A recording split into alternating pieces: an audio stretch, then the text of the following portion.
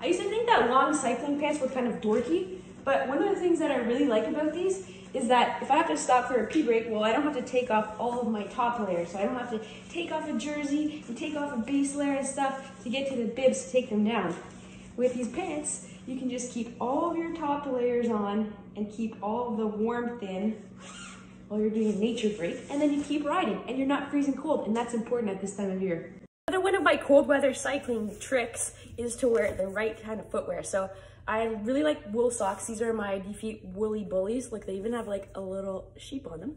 Anyways, they're a little bit thicker than my regular socks. So, and this is like where the real trick comes in because I mean, wool socks aren't that big of a secret. Um, I have winter cycling shoes. So these are exactly the same model as my summer cycling shoes, but they're one half size bigger. So that leaves extra space for my bigger socks and it also leaves a little bit of extra space for some um, airflow because it's actually important to have some air to kind of um, keep the heat in amongst your body parts because otherwise the heat just transfers directly from your body to the cold material and gets like sucked out of you. So it's nice to have a little bit of extra wiggle room, a little bit of space for the air and some space for bigger socks like your favorite wool socks. It's gonna be a good ride. Another one of my best cold weather cycling tips is to protect your face. I put on this um, thick balm and it kind of creates like a barrier between my skin and the cold wind. And it's good because it keeps me a little bit warmer, but it mostly it prevents like my skin from chapping. This is what I use. It's the Premax stuff. It's the same guys that make chamois cream and sunscreen. These guys know what they're doing.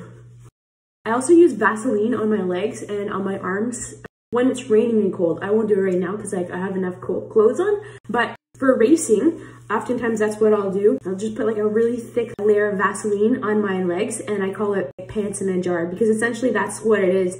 It's like a layer that protects your body from the wind and the water and stuff that makes the heat evaporate from your. I'm gonna share with you guys one of my trusty cold weather riding tricks. And this is using these hot pads. So typically, if you're not familiar with these, we use these for like skiing and stuff and we put them in our gloves so that our hands don't freeze.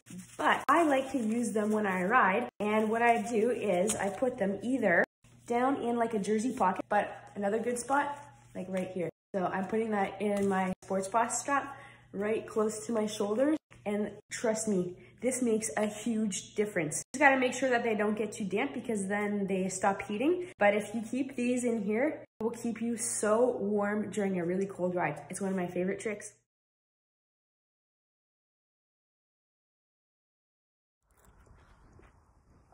This is a delicious snack.